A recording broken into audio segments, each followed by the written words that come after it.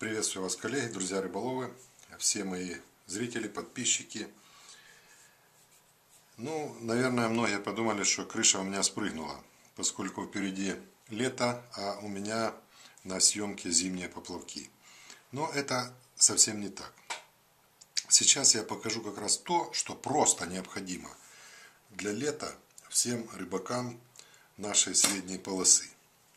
В чем это заключается? Это заключается в том, что мы сделаем самую чуткую снасть на любую некрупную рыбу или на, скажем, на любую очень осторожную рыбу.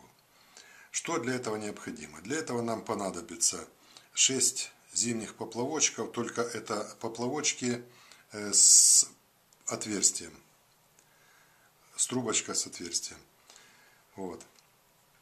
И понадобятся стопорки. Но стопорки, э, вы все знаете, что у нас э, используются только самодельные, поэтому я вот сейчас э, подготовлю эти стопорки. Вот, четыре штучки, пять, шесть, семь. Ну, пока может хватит, а если не хватит, потом еще добавим. И начинаем изготавливать снасть. Первое. Ставим, ставим первый стопорок. Как ставить стопорок и как работают эти стопорки из трубочки, я здесь рассказывать долго не буду. Но вы сможете посмотреть, тут будет ссылочка на видео, э, в котором это все подробно изложено.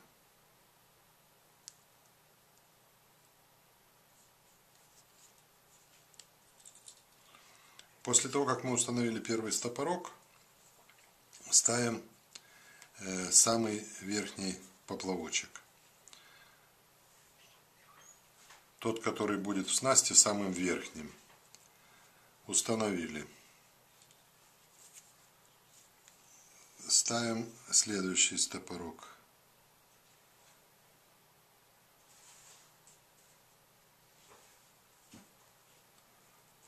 Маленькие прыгают, и в очках даже не очень хорошо видно. Но я думаю, что мы это все равно э, все победим. То есть сейчас мы ставим второй стопорок. Есть второй стопорок на месте.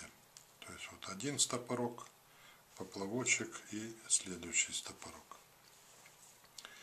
Теперь идет второй поплавок. И секрет этой снасти как раз состоит в том, что мы будем использовать вот эти все э, шесть э, поплавков. Как она будет работать? Она будет работать таким образом. Грузку произведем так, чтобы третий стопорок установил, поднял. Вот. А грузка будет работать таким образом, чтобы три поплавка находились под водой, а три поплавка над водой. Ну или, вернее, э, плавали на поверхности воды. Вот так будет точнее.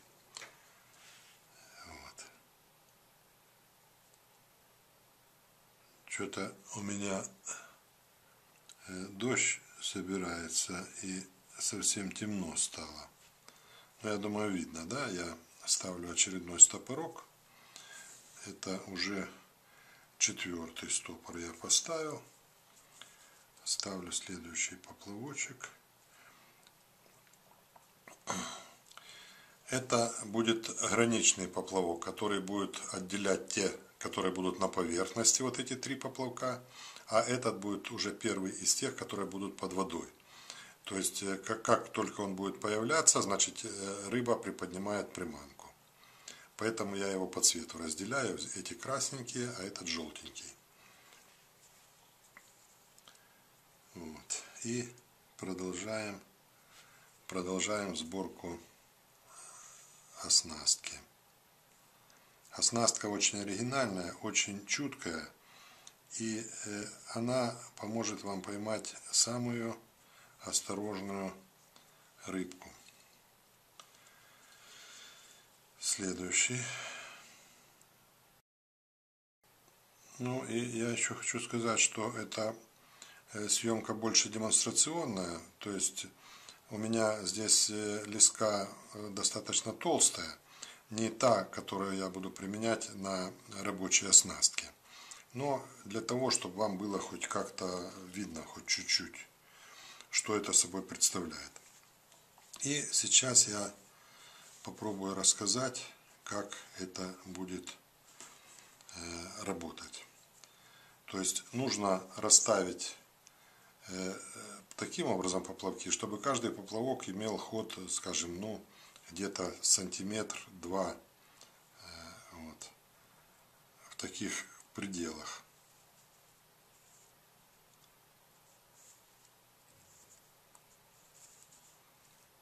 Один-два сантиметра, один-полтора сантиметра каждый поплавок должен иметь э, свободный ход между стопорками.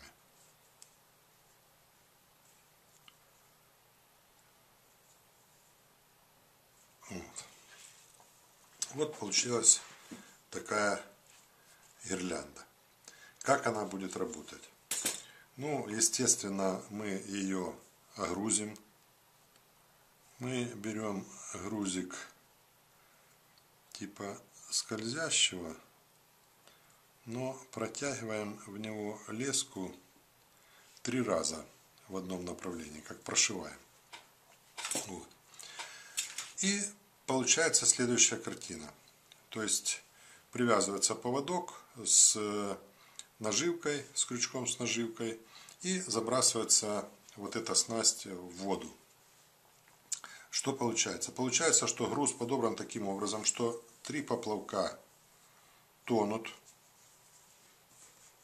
находятся под водой, а три поплавка плавают по поверхности. Вот так.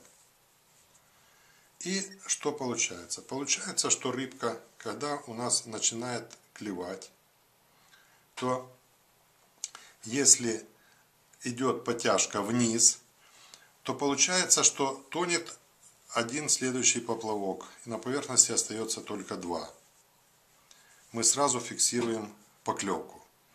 Но поскольку вот такой вот мельчайший поплавочек рыбки утащить очень легко, она не замечает э, того, что она уже фактически готовится на крючок.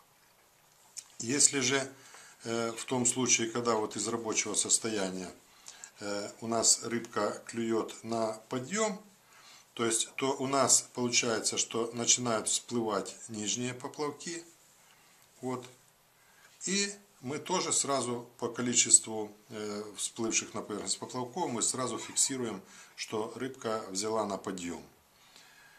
И то же самое, наша подсечка и рыбка в садок. Мы план рыбалки выполнили. Вот. вот такая снасть является самой чуткой, самой нежной и самой э, продуктивной по мелкой и осторожной рыбки. Такую снасть тоже, как только будет возможность выйти на открытую воду, я обязательно покажу эту снасть э, в действии. Как э, делать стопорки из э, трубочки, ссылочка была вверху, можно было посмотреть.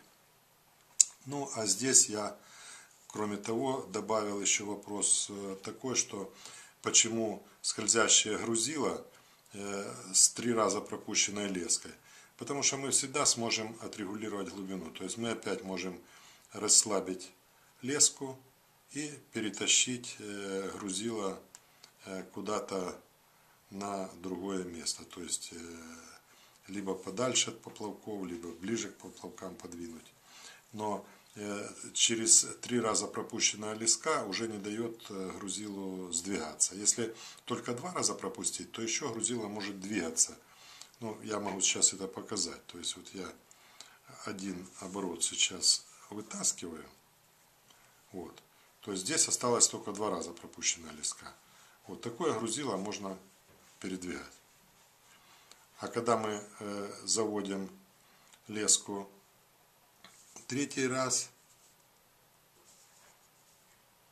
то это уже э, фиксирует груз на леске и он уже не двигается. Вот такая нехитрая хитрость, которая тоже может пригодиться. Подписывайтесь на мой канал, смотрите мои видео. Если вам нравятся мои видео или вы считаете их полезными, ставьте пальчик вверх. Приглашайте своих друзей тоже подписываться на мой канал. Я комментируйте, э, я всегда отвечаю на комментарии. Также жду вас, ваших друзей и новых подписчиков на своем канале. И буду показывать еще много интересных видео, полезных для рыбаков, для рыбалки. На этом сегодня я заканчиваю. Пока-пока.